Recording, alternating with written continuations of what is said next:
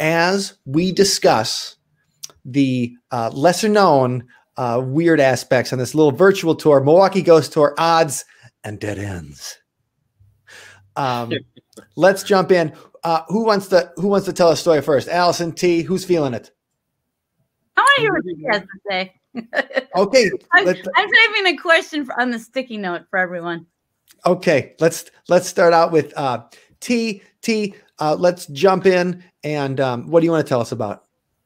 Uh, well, if we can show the first slide that I've got here. hmm Um, this is a story. It's very cool because I, I've been doing the third ward tour, and uh, one of the great things about doing the tours is people uh, tell you about um, stories.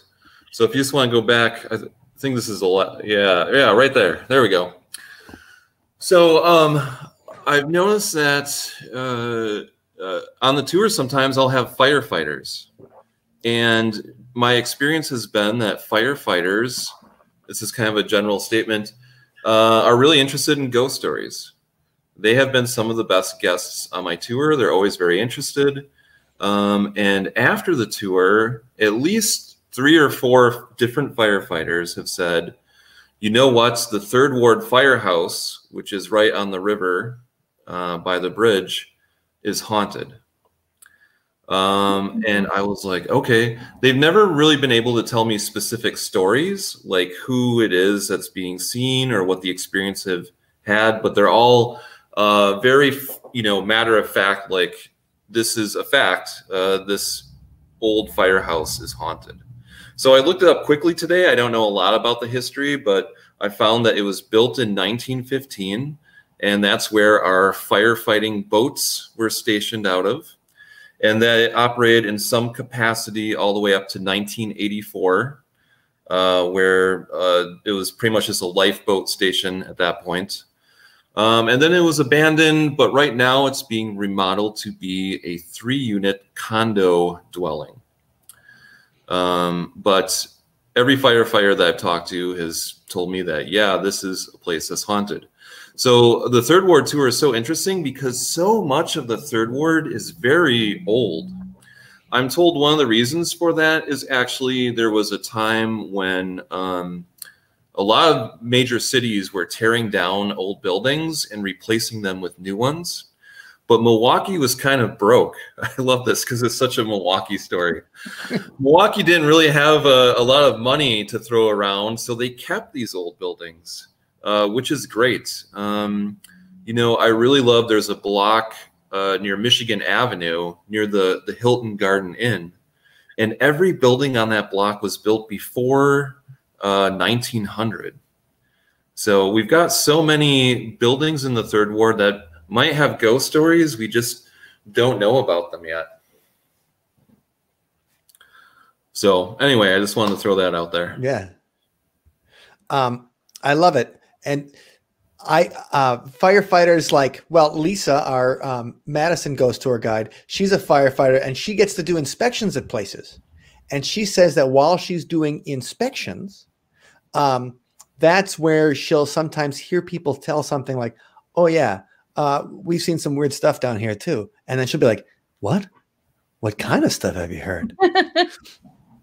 Uh, And- Oh, I just want to say quick. Dan brought up a good question. Um, there was, you know, on the Third Ward tour, we do talk about the Great Third Ward Fire of 1892, uh, and we also talk about the Newhall House fire. Uh, and again, uh, firefighters who are on the tour, um, they know these stories, so they're kind of excited to hear these stories because, as Milwaukee firefighters, um, it's stuff that they probably learn about early on in their career from their fellow firefighters.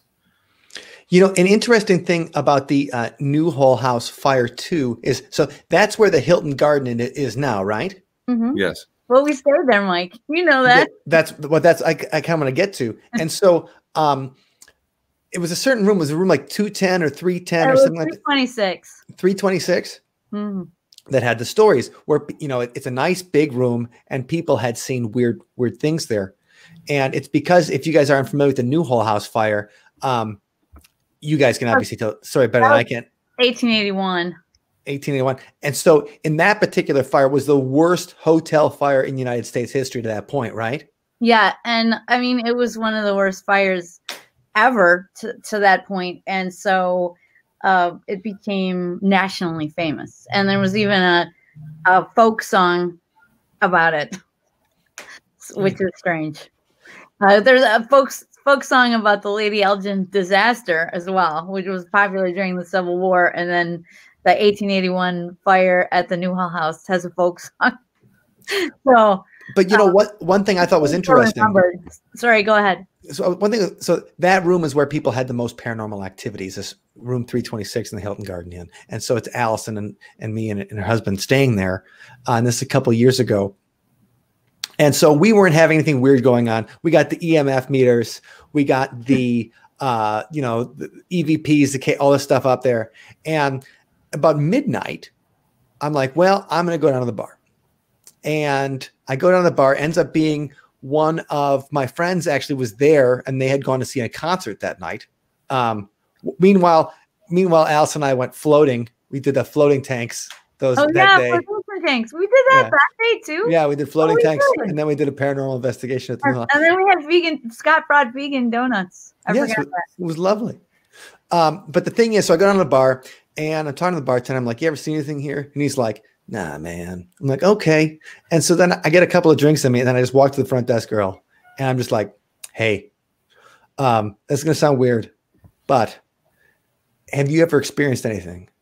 And she's like, "Well, not me, but some of the guests have seen really weird stuff." And I said, "Well, what about room 326?" And she goes, "Well, we just had a woman who refused to stay there, who Oh. who had come." Well, I, I want to tell that. I want to tell that part too because I thought it was so, so good when you guys came back and told me that because like you guys left and I just like um was hanging out in the room like I trying to trying to do like my best like helpless female impression to hopefully bring on the haunting. I don't know. Um that that's just like the little scenario I was running in my mind. And uh, then you come back and you have this great story about this woman. I, I know I'm hijacking your story, but it's so great.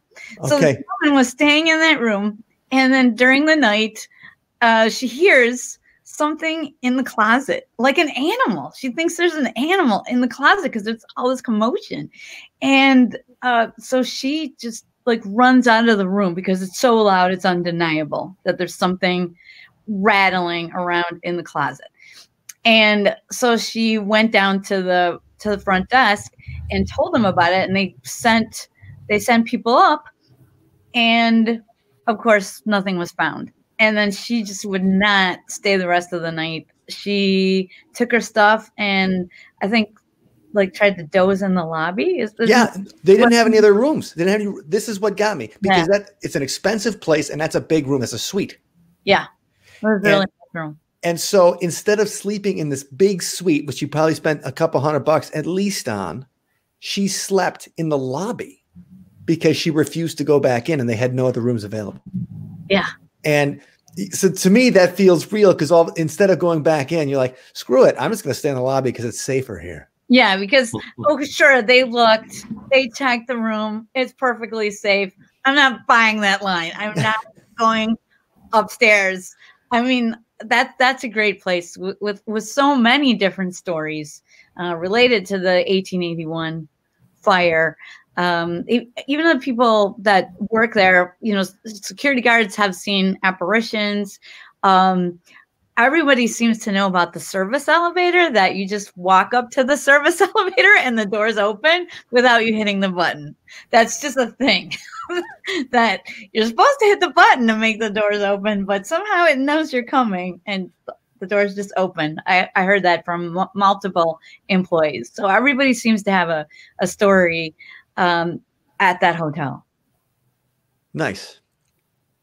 Nice. except All for right. us.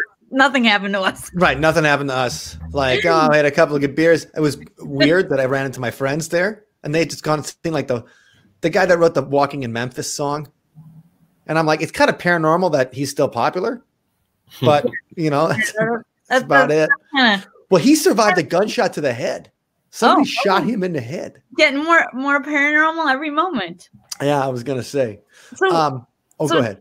We were we were talking um, before we went on um, about Von Trier, and, and I want to hear about your your research into the strange death of the former owner of Von Trier. I want to make sure we get to that, um, if that's okay. Sure, sure. I mean, I, I have stories I could tell, but really I'm bored with my own stories. I want to hear your stories. Sure. Well, this was um, a great exercise in curiosity. Um, you know, I lived in River West for a long time and would frequently be on the east side and hung out in a lot of bars. And I started hearing people tell me this story about an incident that had happened at Von Trier's. Um, and in the first telling, what happened was uh, a guy was jealous of the owner of Von Trier. So he walked into the bar, he grabbed a decorative crossbow off the wall and shot the guy in the bar and killed him. And I was like, okay, good story. then maybe, you know, a short time later, I don't know, weeks, months later, someone else was telling me the story. But this time, the guy walked outside of the bar, Von Trier's, and there was a guy hiding in uh, behind something across the street and he shot him from across the street and killed him. Then i heard the story again and this time the guy who shot him was dressed like robin hood. And i just kept hearing all these different versions of the same story. And so one day i was walking around the east side and you know and i was like you know what? I'm just going to go in the bar and ask them if they can, you know, tell me what's going on. So I went in and there was a, an older bartender and he was like, "Oh yeah, this story." He was like, "Let me tell you, I was working this night." So uh, he told me the date because it was close to Christmas, as I remember. Uh, he told me his version, and then I actually went to Central Library and uh, went up and got the microfilm for the newspapers for the day that this incident happened. And what actually happened was uh, the owner of Von Trier had closed up the bar. He walked to his apartment building, which was nearby, but it was about a block or maybe two blocks away. And kind of laying there in wait was an employee of his who had a hunting arrow. And he stabbed the owner with the arrow. So he actually didn't fire the arrow from a mechanism. He used it sort of as a knife. And for some reason, they couldn't bring him to the hospital, which was right there on the east side. They had to drive him to the south side. And by the time they got there, he had bled to death.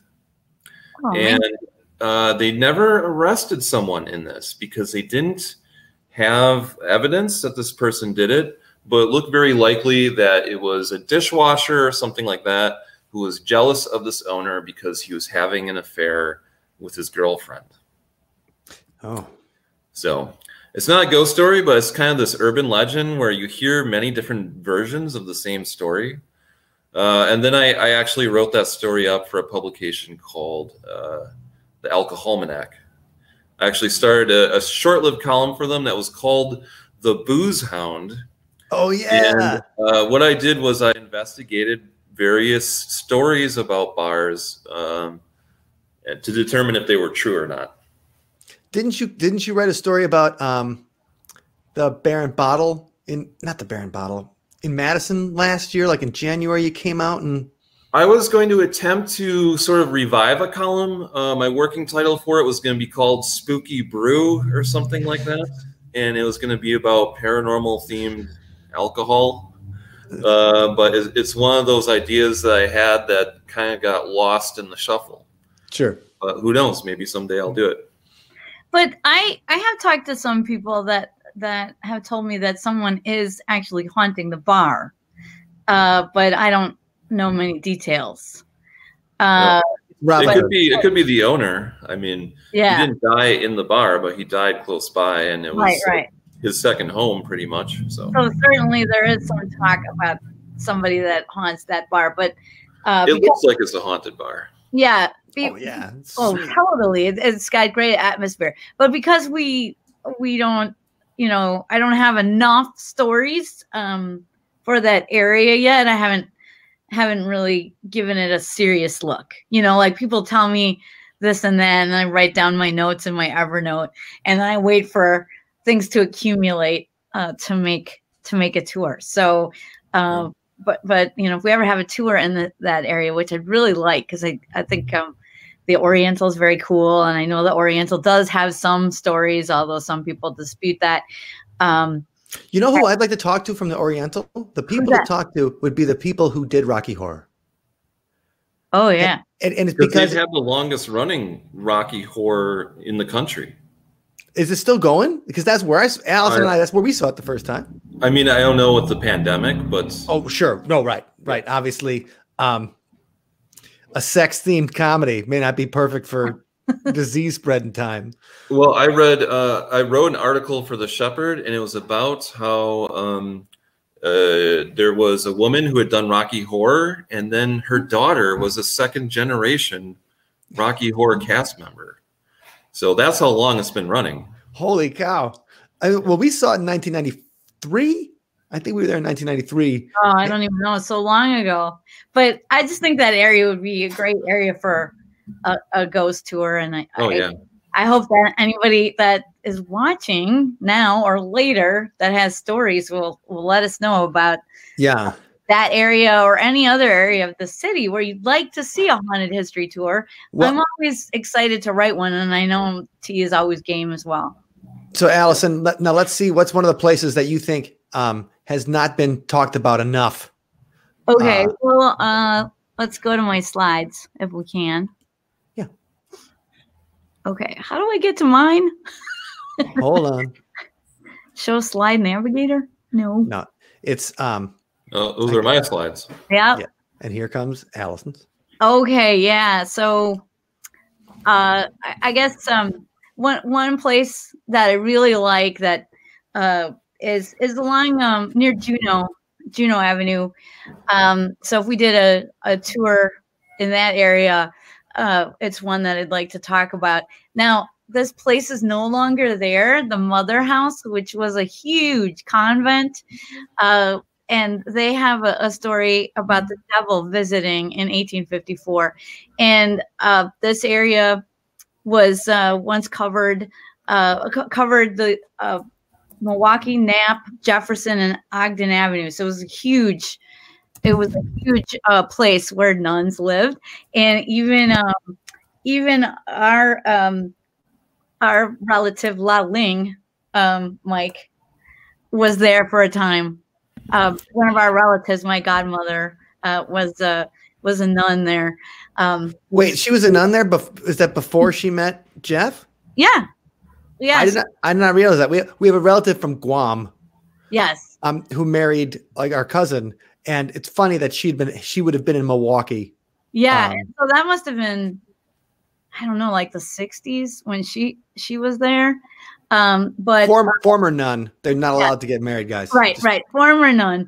Uh, but she, contrary to what uh, contrary to what Pornhub tells you, they can't get married. Yes, she, she talked about you know after hours when it got dark, you know, kind of running back to her cell at night because it was so creepy in there. But but anyway, 1854, there is this story about the mother house, which was run by um, Mother Caroline and uh, so she over, over oversaw all the all the people um, who were novitiates looking to become nuns, and all of a sudden one night there there was something strange in the dormitory, and so she ran to the dormitory to find out what was going on, and all the young nuns to be were really freaked out.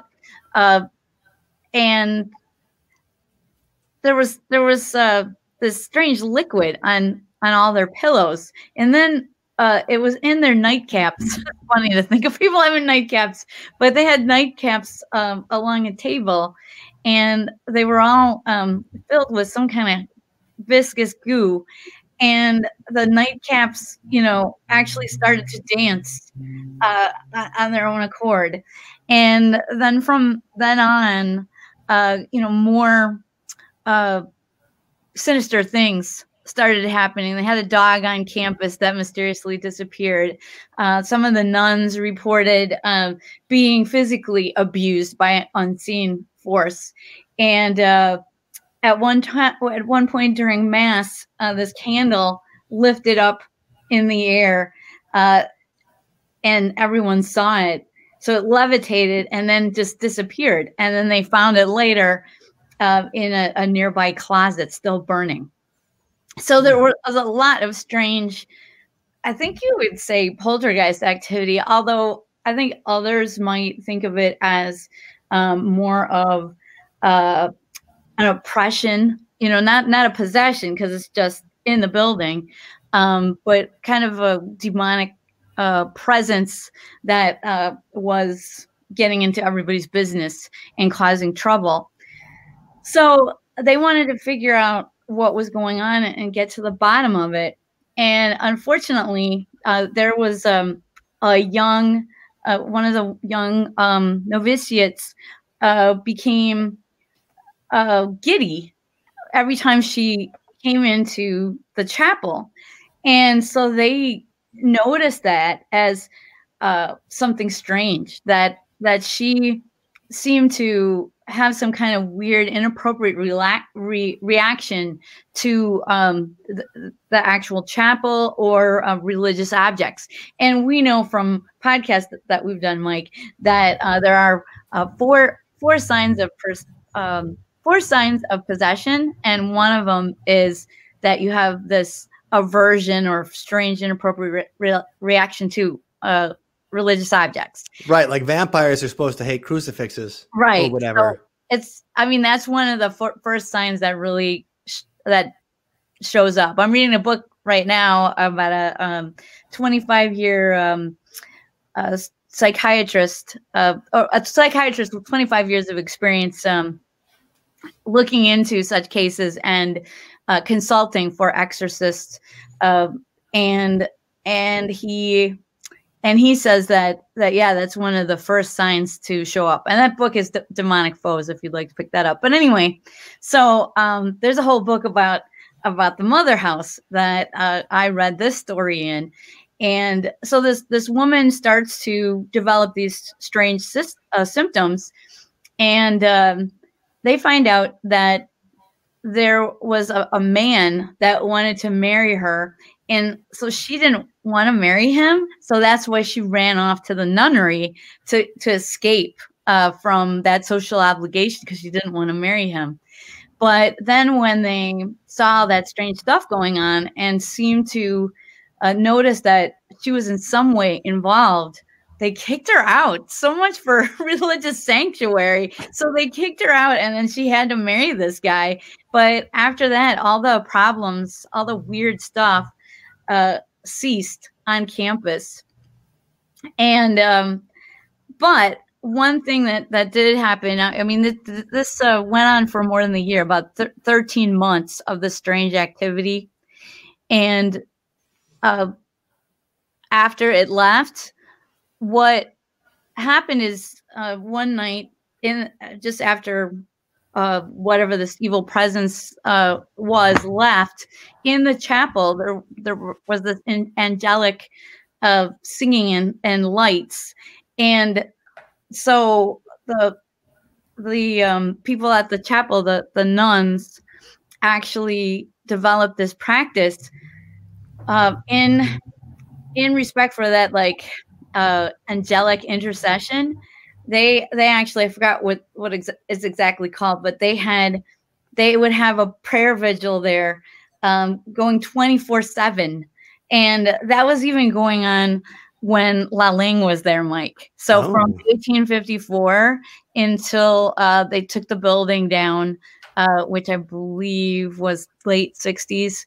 Uh, so every every night, or actually every day continuously from 1854 on, they had uh, someone in there, some of the nuns in there praying. And then you'd have your shift.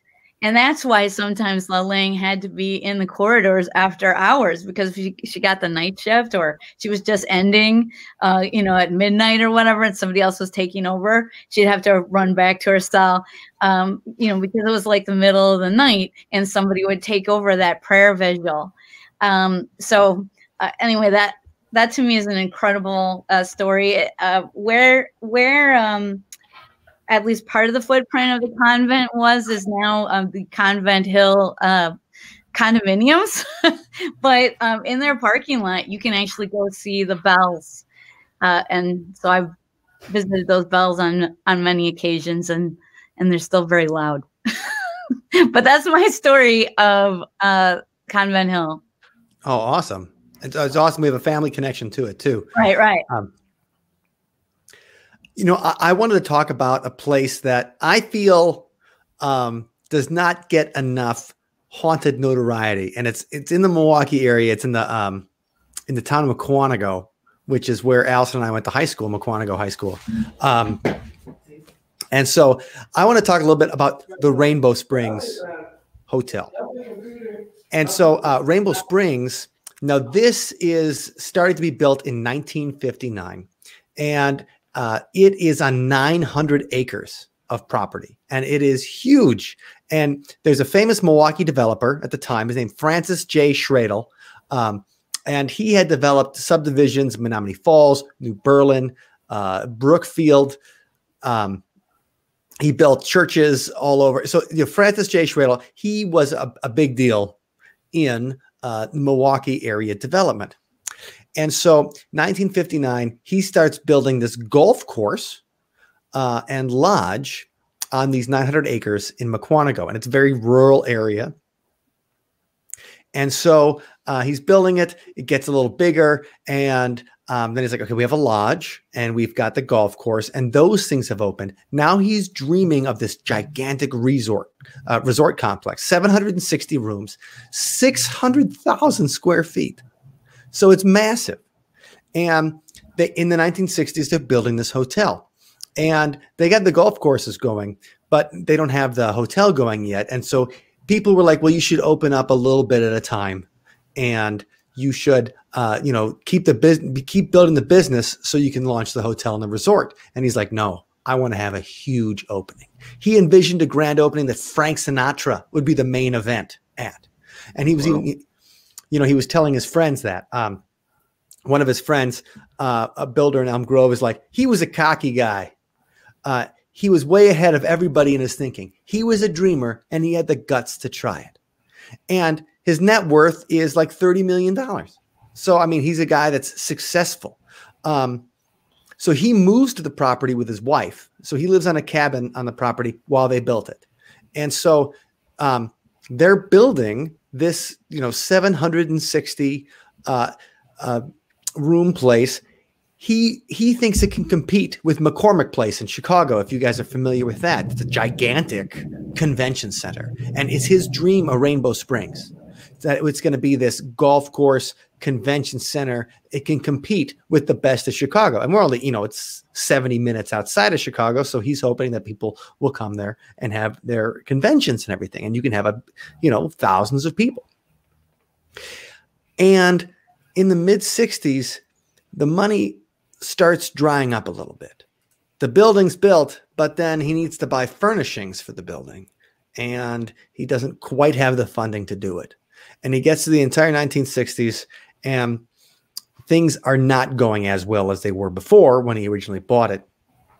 And so what happens is, uh, 1971, M&I Bank sues him and his company for like $8 million and they say that this is what we need because you're not making good and you you should have opened the hotel by now for the investment you know we put in. And he's like it's going to happen it's going to happen in fact he's like if i can't open this hotel no one will mm. all right mm.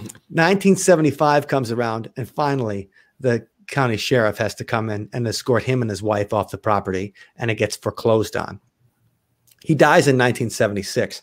Now, I read in a Mukwonago Chief article uh, in the 2000s that he had killed himself inside the property. And so that was the legend for a long time. So I wasn't able to find anything that actually backed up that he had committed suicide inside the property besides that article, which we're not talking about the New York Times sources here, right? We're talking about somebody who's like, yeah, no, my aunt said he killed himself there. Yeah, that's good. Who's your source? My aunt. She's not a liar. Um, so uh, you know, I'd heard that legend. But we do in the 19 um, in 1980s though, it, it's it's an abandoned hotel. If the hotel was built, nobody ever stayed there. And so the best thing they could do is they had the golf golf course open, and um, as well as every Halloween you would have a haunted house there. And the first time I heard about this place is when I went to go to the haunted house put on by the local JCs. And the haunted house is great um, because it's a scary ass building. Um, and it's a hotel that was never opened. And so my friends used to work at the haunted house. And that's where I first heard that there was real paranormal activity happening there. They'd be like, "Oh yeah, I don't want to be, I don't want to be alone um, in my room when I got to jump out and scare people." They would like want to, they would volunteer for the places where they'd have to be with partners, or they, they wouldn't be alone in certain rooms because they would feel grabbed, touched. Hair, hair was always a big one uh, a lot of girls that would work there felt like um, somebody was pulling on their hair and messing with them. They talked about seeing uh, shadows crossing the halls, footsteps, and they'd be like, "Hey, I'm over here." Uh, you know, they think it was their buddy or they think it was their boss, and you know they call to him, and there's nothing. There's nobody there, and so it always had that rumor of paranormal activity. And plus the rumor that the guy had killed himself in there. So of course, I want to go. And so in uh, 1994, um, or it might have been January 1995. I think it was January 1995, but it was the wintertime. And uh, one of my friends had worked at the golf course. And he's like, I can get you in the hotel. You want to go see the hotel?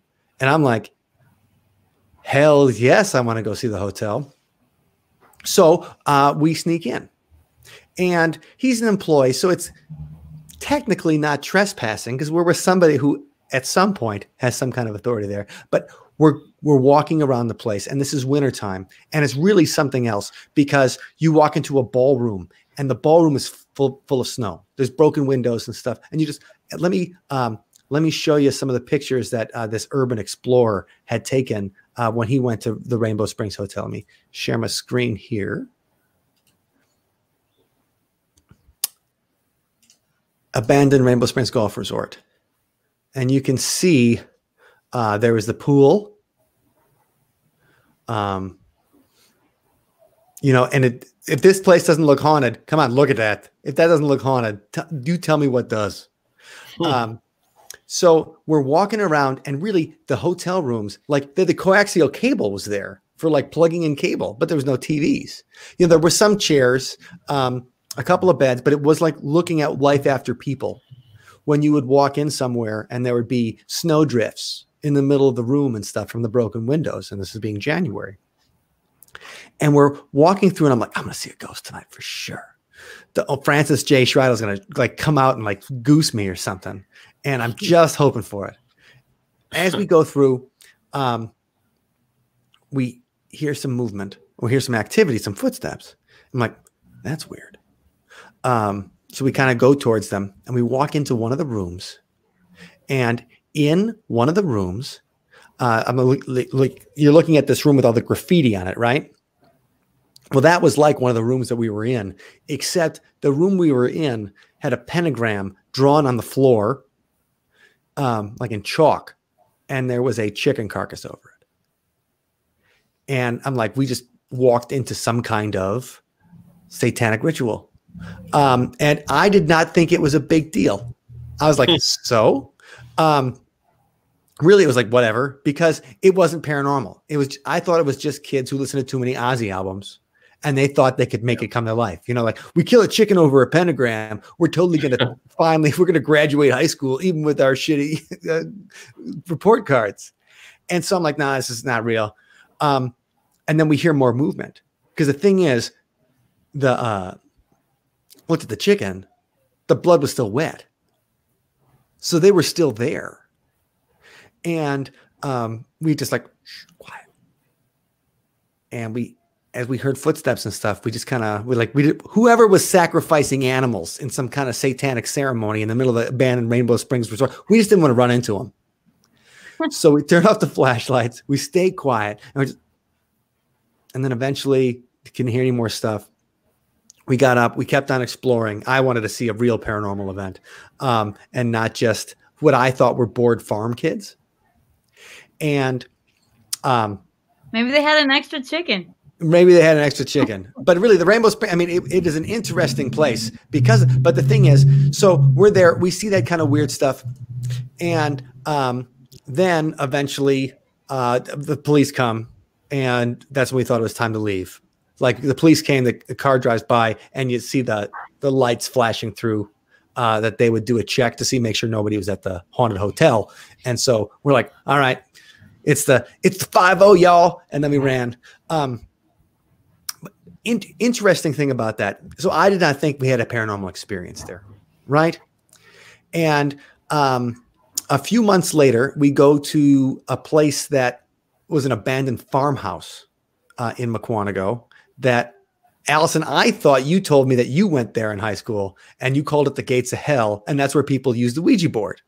You have a lot of stories about me that I and then you have no recollection of it. You have no recollection of it. And no, I have like, no recollection. And so you, I, I, that I ever that I ever tortured you in such a way. Like you did, so I bring a whole bunch of my friends out to this abandoned farmhouse, this burned out farmhouse at the edge, at, at right where the Mukwonago is I forty three exit or entrance and exit I forty three, and it's gone now because there's a hospital there and stuff like that. But back in the day, it was just farmland before there was Walmart and everything, and it was just farmland, this abandoned farmhouse. So we go out there about 10 o'clock on a Friday night. We've uh, like we called it um, oh fright nights. We'd all go and we get you know a bunch of people and go to this place. And so it's, it's a bunch of girls, bunch of guys on a on a Friday night. And so we bring out the Ouija board. I put it down between me and this girl. And there's about 15 to 16 people out there who wanted to check it out. And so uh, one of my friends, as we start the Ouija board, walks up to us and throws a bone on the Ouija board. And he goes, Here, use this as an antenna. And I'm like, What's this? The walls of the abandoned farmhouse were filled with animal bones. Mm. And right, I'm like, what's going? And once again, I did not think of it as a paranormal experience. I'm like, kids bored in the farm are just doing stuff they that they, think is going to upset their Christian parents. You know, and that's what I thought for a long time until um, the last Bray Road Beast documentary comes out, and then you have the um, you have the uh, animal control officer of Walworth County, Wisconsin, talking about all of the different piles of dead animal bodies that he found in that were near Elkhorn, and how he finds that at the time. And I'm talking about I'm in the early 90s is when we're doing this exploration, and the Beast of Bray Road starts in the late 80s and the sightings continue in the early 90s. And he's talking about finding all of these animal corpses in Walworth County at the same time. And all of a sudden I'm thinking, is was there some there's some kind of thing like people because the idea was people were trying to evoke some creature. They're trying to bring some creature over from the other side. That may have been the Beast of Bray Road. They were trying to open a portal to bring it over and they were using the animal sacrifices as the as the power to do that and so all of a sudden the things that i thought were just bored farm kids got a lot more sinister after that um and so i i kind of want to talk because i i feel that um you know i always thought the satanic panic right it's all it's all bs there's nobody out there who's actually going to sacrifice an animal. And then I walked into two different sacrificial places, and then you hear the animal control officer talking about it. It just makes you think a little bit extra like, okay, well, I have been to places where people conducted rituals, and I, I can't tell you what it was, but it was also at the same time people are having these kind of uh, not just cryptid sightings. You know, we were talking about Wildcat Mountain. That's a cryptid sighting because you're seeing a beast that people don't think is real or supposed to be out there, they're having they're seeing some kind of supernatural monster sightings. Um, and so putting those kind of connections together, kind of like I'm like, oh man, I was the places we were investigating were the uh, we were, you know, we were walking into these sacrifices, and I'm like, Ground zero, Mike. Ground zero. right. And at the time, I just thought it was stupid. I'm like, I want to see a ghost. Stop, you know. I'm like, these guys have read too much Aleister Crowley. You know, I'm like, what a bore, and not realizing that what we were right there. Um, so I just kind of want to uh, mention that in the Milwaukee area, that Rainbow Springs people had haunted stories there, and eventually it would become the site of uh, like weird rituals and animal sacrifices, and then eventually it gets burnt down um, in the early 2000s. Uh, the whole place burns down. Um, more than half of the structure gets destroyed. I'm looking at the Journal Sentinel article from the time, and they're talking to the fire chief. Um, that he's like, oh yeah, the blaze was reported about 2:15 a.m. We tried to do what we could when we got here. A quarter of the building was already gone. Um, and then they're like, well, was the fire suspicious? And he goes, we're following some leads. Well, that's it. Um, then uh, you know they they never there was never any arson proven or anything like that. But the place burns down, and then the whole property gets sold back to the state uh, to become just like natural state lands. Scott Walker, actually, when he became um, governor, Governor Walker, he fiercely opposed the state buying back Rainbow Springs and that land around Rainbow Springs. So was Scott Walker part of some kind of demonic conspiracy because he didn't want he didn't Yes. he didn't want the land opened again? I don't know. I'm just saying it opens some questions. Just saying. Maybe. Yeah. Seems kind of satanic. right. Mm-hmm. So that just I just wanted to talk about like I feel like that particular place. Nobody ever talks about this massive resort that never opened, always rumored to be haunted, homosatanic rituals, and then eventually burns to the ground. And it's you know about 25 minutes from downtown. If you Yeah. get jump, you jump on I 43. And all his satanic furry friends like to hang out. no, no, no, no. I, I heard So that. um, It was I just the bathroom wall. I thought it was interesting because I just made that connection. So, um, all right. Next story. Tea, you got another story for us? Yes. Um, we want to get the slides back up and Yes, move sir. to the second slide. This story is uh, paranormal and it's also incredibly delicious because um, we're going to be talking about. Um, uh, I'm seeing the firehouse. If you want to move to the next. Oh, there we go. Yeah, great. I'm going to be talking about a restaurant in River West where I lived for many years called Cafe Corazon. Uh, and this is the original location. Um, so in 2015, I finished up my book Monster Hunters. And I was like, you know, I traveled all over the place talking about different stuff. Uh, I wonder if I've what I've missed in my own backyard. Um, so I decided to write a story about River West ghost stories for the River West Currents, uh, which is a really cool little community newspaper uh, in River West. And I've, you know, I've written for them for a long time uh, here and there. And uh, the former editor Jan and the current editor Lee are both friends of mine. So I just kind of put it out there on social media. I was like, who has ghost stories about River West? Um, and I got some pretty interesting stuff. Uh, there's a bar that's now unfortunately closed called Dino's Tavern. Uh, they had some ghost stories. There was a uh, former um, Milwaukee School of Massage that has also since closed, but they had ghost stories. And Oh, then Allison, That's the same place as Yeah. Milwaukee School of Massage used to be. what's that? That's the same place as Milwaukee School of Massage used to be. No, no, they're, they're two separate places. Dino's Okay. Tavern, and then down the block was the former Milwaukee School of Massage. Okay. They're both supposed to be haunted.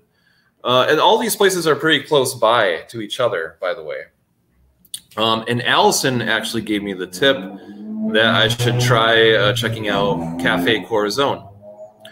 Um, so again, you know, I just I kind of walked in there cold one day, and I happened to be in the right place at the right time because I asked the bartender, and they were like, "You know who you should talk to."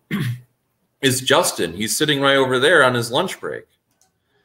And I was like, okay. So I, you know, sat down and introduced myself. And this is what's really great about doing interviews in person is I started talking to Justin and then he's he's telling me stories, but then he's like, Hey, hey Dave in the kitchen, come over here. Tell me that thing that happened to you. He's like, Sarah, come over here. And so pretty soon I had like a small group of employees who were gathered around me uh, telling me all about weird stuff that had happened to them in this building.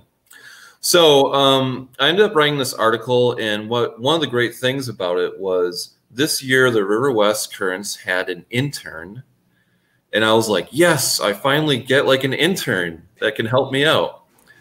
Uh, her name was Gretchen, and she uh, was really helpful doing some historical research about the different places I talked about.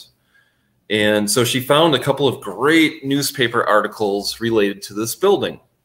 So I don't remember when the building was originally built, but uh, it's right by some uh, railroad tracks that are no longer in use.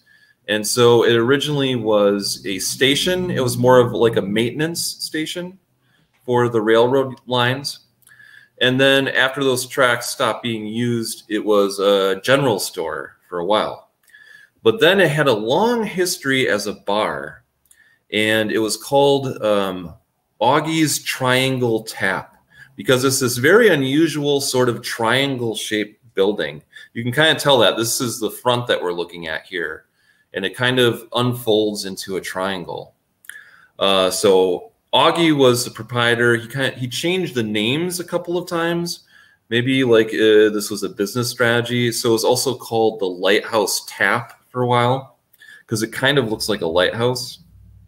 Um, and his bar was pretty rowdy. Uh, River West was a rowdy place in those days. And uh, apparently, his bar was a hangout for the notorious biker gang, the Outlaws.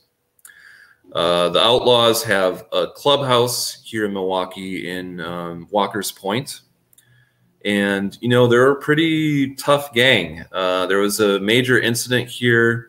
I forget when it was. It was at least 10 years ago, maybe longer where the FBI and the ATF did a major raid of this outlaws clubhouse in Walker's Point and arrested a bunch of people and charged them with this sort of ridiculously long list of charges. You know, they were involved in extortion and kidnapping and arms dealing and drug dealing and on and on. So, um, so this bar was probably a pretty rough place, and who knows what happened in this bar.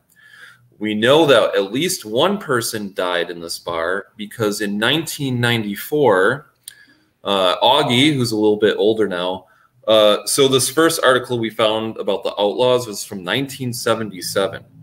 Augie had to go before the Common Council, and they threatened that they were going to take his liquor license away because they had been getting so many complaints about rowdiness at his bar.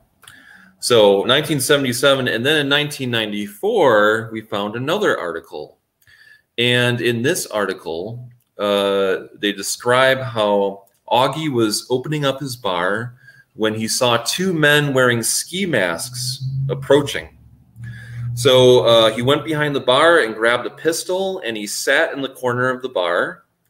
And when the first person walked through the door, he shot him dead right on the spot in the doorway. Damn, Augie.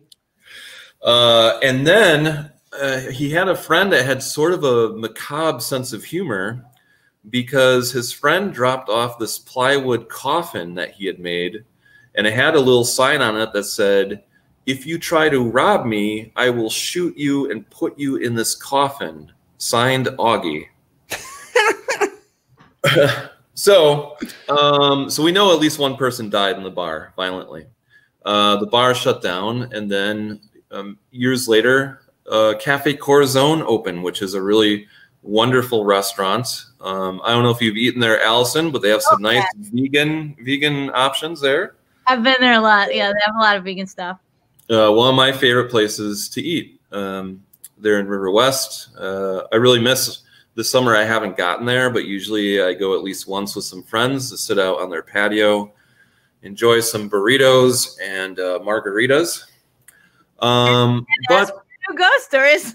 That's what I do when I go there. I, I try to frequent um when, when I go out to eat. You know, I haven't found any haunted Thai places, and I love Thai food. That's that's that's kind of the big thing that gets in the way. But um, any other time I go to a restaurant, I, I try to focus on the haunted places so I can eat my meal and ask for new ghost stories. Yeah, yeah. Um, so before I get into the actual stories, there's another reason why people think that this place might be haunted, besides you know the mur- the killing that happened there and the possible outlaw whatever happened during that era. And that is if you go into Cafe Corazon, and Mike, maybe you could go to the next slide.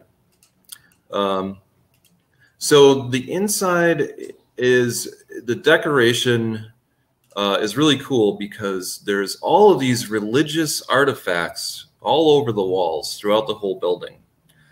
Uh, and the staff told me that they started, you know, with some of their own decorations. But what will happen is uh, some of their customers will have a relative who will die, and they will leave behind, you know, these little statues or crosses or stuff and they might you know see this and be like oh here's a, a bust of jesus weeping blood which is nicely made but i don't want to keep on to this. But i also don't want to just throw it away. So a lot of these people will bring these items to cafe corazon so they can add them to their collection. And the staff seem to think that you know maybe these artifacts are holding some energy from these deceased people. And that could explain some of the stuff that's going on um, in the building. I, I just need to say that they they do have a lot of great artifacts there of sacred hearts and whatnot. Um, Yeah. Some really po- spooky paintings as well. But my favorite is uh, the the painting that they have that seems to be of Saint Nicholas Cage. That seems to be Saint Nicholas Cage, if you know the one I'm talking about. Um, They have a holy a holy painting. Um, and I don't know which saint it's supposed to be. I forget but but it looks just like Nicolas Cage. It, it will freak you out. Yeah. Um, so I sat down there and I, I started talking to the staff, and they started telling me about the weird stuff that goes on in there. So a couple of examples. Um, they also feel much like the uh, West Elm former Aveda Institute. There's a mischievous little boy that runs around and sort of uh, moves stuff around and hides things as uh, little pranks. So uh, the kitchen staff in particular say that this ghost kind of torments them a little bit by hiding stuff on them and putting things in the wrong places. Although, you know, maybe they're blaming some human error on a ghost there as well. Uh, the waiter I talked to said they have like a storage area on the upper floor. There's a small upper floor. And he said he went up there uh, and he couldn't find the light switch. So he's kind of up there in the dark um, because he needs to get some napkins or whatever. Uh, and he hears this voice whisper, Get out. So he got out. He ran down the stairs and out of the building. Um, he was very frightened. Uh, the creepiest thing about Cafe Corazon, though, is multiple reports from women. They say that they go into the women's restroom uh, and, you know, they sit down to do their business. And there's a small closet in that bathroom. And they say that it's it kind of sits ajar sometimes, and that they will see the face uh, of a sort of ugly old woman who peeks out of this closet at them. Um, and there's at least one instance where someone came running out of the bathroom, uh, very frightened by this experience. Uh, another interesting story related to both of those is this this waiter uh, that I was talking to. He said that one night he was serving a table, and a woman said, um, "You know, I'm a psychic, and I've got to ask you something. Uh, do you think that this building is haunted?" And this waiter was like, uh, "Yeah, uh, why?" And she was like, uh, "Because you know, I'm I'm seeing." that there's a spirit of an old woman here and also the spirit of a young boy. And this waiter, when he was telling me the story, he was like, This freaked me out so much uh, that I'm getting goosebumps just thinking about it. And then he showed me his arm. And sure enough, he had total goose flesh all the way up his arms, uh, just recalling the story. So, um, all these great places, uh, all these great stories about this weird shaped um, little restaurant in River West which I highly recommend people go to uh, to get food and maybe have a supernatural experience while you're there. That sounds good to me. I'm ready for I'm ready for a supernatural margarita. at Corazon. Um, awesome, Allison. Uh, one more story before we yeah. before we get and, and let us know if you guys have any more questions before we wrap up and everything. Um, and uh, give Tea a chance to put a capper on the Milwaukee uh, Paranormal Conference Online 2020. Uh, so, Allison, um, yeah, what's so, what's not, what's another one that you feel has not gotten the credit you think it deserves? Okay, so um, I have a couple more in the slides. Uh, let's see. Okay, let's go back. Um, oh, yeah. So the the Milwaukee Theater downtown uh, is a good one. Um, there have been uh, four uh, spirits apparently experienced here, although um, the, they're light on specifics as as far as uh, stories for the four different spirits. Um, there's um, someone who I, I, I talked to saw uh, the spirit of a, a, woman dressed in black um, in in the bathroom mirror, and uh, so so that's one that you know somebody actually did see this person on on two occasions uh, in the bathroom dressed as if in mourning. Uh, so it's it's a beautiful building. Uh, and anytime I hear that a place is haunted, and especially when the management is willing to acknowledge it, I get really excited. I, a lot of times during um, what I like to do is when we have doors open Milwaukee every September. Of course, we didn't have it this September, but um, that's an opportunity for you to get inside like a hundred different buildings downtown during that weekend. And so I always take the opportunity to get in there. And also, if if anybody uh, is there um, serving as a docent and and knows anything about the building, of course, I ask him about ghost stories. So uh, when I went into the Milwaukee Theater one year, uh, I was able to uh, talk to one of the management there, and he shared that uh, he had a, a, ghost, he had experienced ghosts there, and many of the other employees had. And um, so uh, he also said he wanted a paranormal investigation. So I was able to uh, go to a paranormal investigation of the building. Uh, but before doing so, I was shocked to learn uh, about all these different news stories about people who had died in the building. Um, probably the weirdest is that um, if you see uh, that article uh, to the, the lower left, um, there apparently was a, a baby a baby chick Association, the International Baby Chick Association. this is so weird. That doesn't uh, sound suspect at all. I know it's from 1932. I was like, really? There was an International Baby Chick Association? Like they have a whole association just about the babies? That just seemed really weird. Yeah. Um, anyway, so uh, there was um, a, a, a, shooting there uh, because uh, the former president had been ousted recently and then he um, came back uh, with a with a gun and um, he shot uh, the current president and I think he also uh, shot um, the second in command and then himself. So that's three three deaths. Um, this this other story from 1925 is uh, falling glass. So um, let's see up above if you see uh, over here, not the theater, but the one on the left, um, you see the the green kind of ceiling area there. That that those panels used to all be made of glass at one point. Well, certainly in the 1920s, and um, so uh, one day one of those panels fell on a kid, on a like a 10 year old kid. um, and killed him uh, right in the atrium there.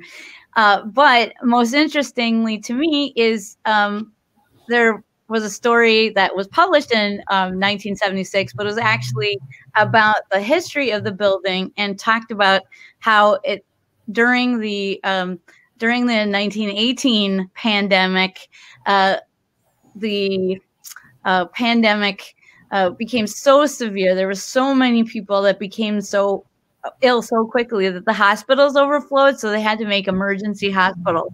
And they made the Milwaukee Theater one of the emergency hospitals. And so they have a lot of different meeting rooms there, or like ballrooms, I guess you would say. They do have meetings in them, but uh, they're, they're technically ballrooms. And uh, these ballrooms uh, were uh, were made into the wards. Like one of them was the men's ward, one of them was the women's ward, and they did have a, a morgue as well, and that's where customer service is today. And um, interestingly, they all also have this this big uh, portrait from another association gathering. It wasn't the International Baby Check Association; it, it was uh, some some other uh, women's club uh, that had a big meeting there and uh, they believe that there's actually a ghost in this photo. It, it's a big blow up that's um, out in the, the, a public area, and um, so there's one woman in there that um, I don't know. You know, maybe she was she just uh, didn't stay still or or something. I'm not sure why she appears so differently. You'll, you'll see her right in the middle um, from the other people in in uh, the photo. Maybe it was a very long exposure um, and she only stayed there for a minute and then put her head down. I'm not sure, but uh, anyway, mm-hmm. they make it the joke that um, this is their uh, one of the ghosts, and um, it certainly is a weird picture when you look very closely at it. Yeah. Right. Who? Where'd she come from? Yeah, I don't know. So, so uh, the Milwaukee Public Theater, I guess mm-hmm. that's a good pick. I, I have I have so many, but uh, you know, I could leave you with that one today. All right. Tea, any last stories? Um, yeah, if we want to show a slide of uh, my last slide there, I'll tell the story just very quickly. Yeah. Uh, this is a great story for me because it's a it's a personal one. Um, so from about the year 1999 uh, to about 2008, I worked on and off at a place called the Brady Street Pharmacy. Um, so this picture, you can see the building as it is today is the big picture in the background. It's uh, Glorioso's. Glorioso started as a very small, beautiful, old school Italian grocery store. Uh, and eventually they moved into this building. And then moving into this building, by the way, is a long story. But in the upper, the black and white photo, you can see how the building originally looked. It was the Astor Theater, uh, which was built in 1915, uh, the same year as that firehouse in the third ward. And it was a 950 seat theater. And it was open until 1952 when the age of television, uh, you know, kind of damaged a lot of theater businesses. Uh, so they they closed down, and then uh, they use it as a storage space for a lot of film. Um, until 1983, when my old boss opened it as the Brady Street Pharmacy, and it was sort of an old school soda fountain, greasy spoon diner, and it had a, a pharmacy counter in it, and then it had a convenience store where they sold, you know, over the counter medication and groceries and cat litter and scissors and all sorts of random stuff. So I worked there as a cashier. Uh, one of the reasons I like this place a lot is the first time I walked in, I kind of looked around and there was all these eccentric East Side characters hanging out. And I was like, oh man, this is like a David Lynch movie or something. I'm really excited about how weird this place is. Um, so I ended up working there almost 10 years on and off. Uh, probably the most eccentric person in that building was my boss, uh, who was also the pharmacist and the owner of the building. Um, he was married. His wife had died in the 90s. Um, and from what I was told, they had a sort of contentious relationship. Uh, they both lived upstairs on the second floor of the building, and um, you know they did sort of the Lucy Ricky Ricardo thing where they're very angry at each other, so they actually put a line through the housing on the top floor, and he stayed on one side and she stayed on the other side, and they ran a business together but didn't really have a relationship uh, at, at some point. Um, so she died, and then um, the belief among the employees was very strong that the ghost of Barb, Barb was his his name, uh, his wife's name. Jim was the owner. Uh, the belief was that Barb was haunting the place and that she was pissed off. So, um, you know, the waitresses would tell me things like doors would slam shut on them, and uh, they would feel like there's this sort of a level of animosity of someone looking over their shoulder, and that uh, you know anything in the building that was seen as uh, being problematic would be blamed on Barb. So I never experienced anything like that myself, but I just you know was probably preoccupied with other things and not thinking about ghosts that much during that point in my life. So, it, but you know, it's very sad because it was a very unique place. Uh, a very similar place was Oriental Drugs over on North and Farwell. Was also sort of a diner with um, a little convenience store in it, and those things are kind of relics of the past. I think, unfortunately, because they they had so much character and they really were sort of the meeting spot of the neighborhood.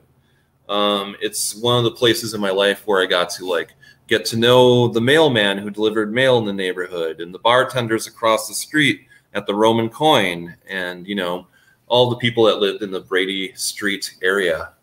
So it was a good experience. Anyway, that's my last ghost story. I love it.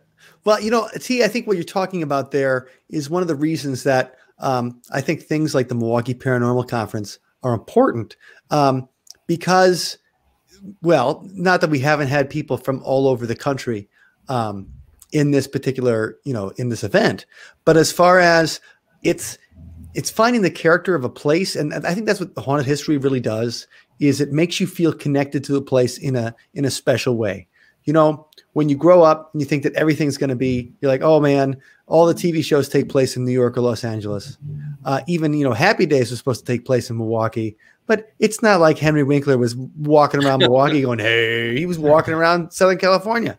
Uh, that's where they shot it, you know, and that's just where the media centers are, of course, and that's because that's where the, the people who can put things together. Our publishing is located in New York, uh, you know, things like that, and so um, you hear all these great horror stories, ghost stories, all the fiction and the TV and movies always seem to be in these faraway places.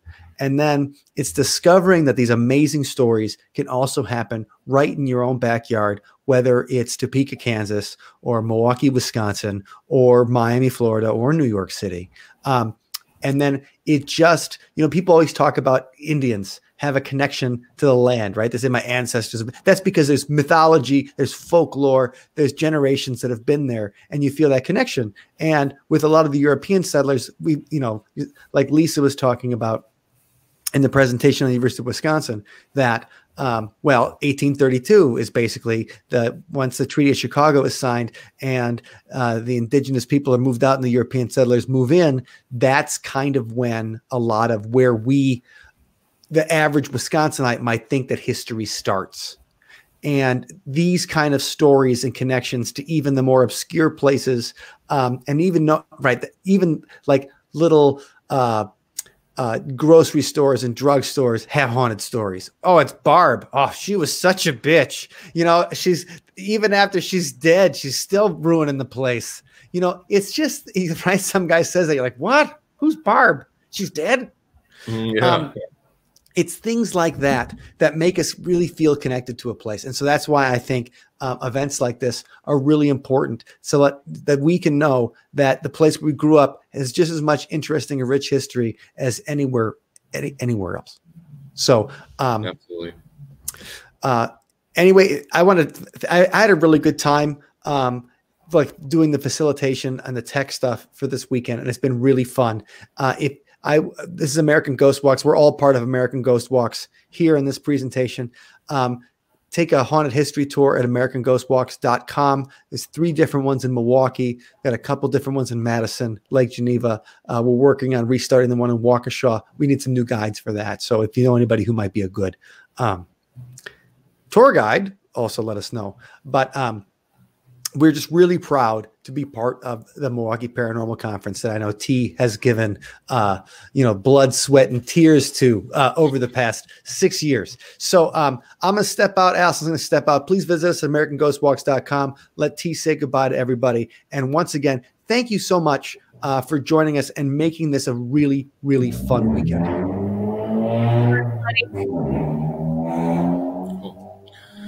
Okay, well, I'm just uh, I'm not going to talk much longer at all. I just want to take one minute to say uh, a special thanks to Mike. He's been sitting at the control booth uh, this whole weekend, making sure everything runs as smoothly as possible. So I really appreciate his help. I'm going to reiterate what I said earlier, um, which is, you know, if you've seen speakers that you like uh, this weekend. They've all been uh, giving free presentations. One way that you can support us is to support those speakers that you saw. Um, if they have books for sale, buy their books, their documentaries, their merch. Um, another great way to support them is to just, uh, you know, subscribe to their YouTube channels, follow them on Facebook, drop them a line telling them that you enjoyed seeing their presentation at the Milwaukee Paranormal Conference.